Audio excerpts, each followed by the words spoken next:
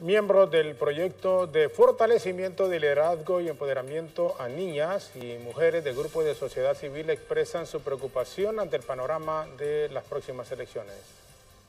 No se había dado más que aquellas típicas pleitos entre activistas y militantes de los partidos políticos.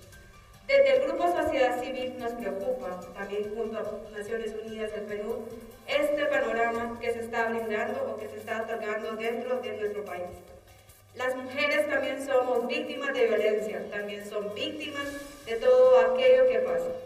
Desde el Observatorio Político, que también formamos parte como Grupo Sociedad Civil Político de Mujeres, ya hemos recabado 20 denuncias de candidatas a elección popular. Eso nos preocupa porque eso solo es el principio del un escenario político que se avisora. No queremos saber cómo va a ser el post electoral, no es un panorama nada parecido al 2016.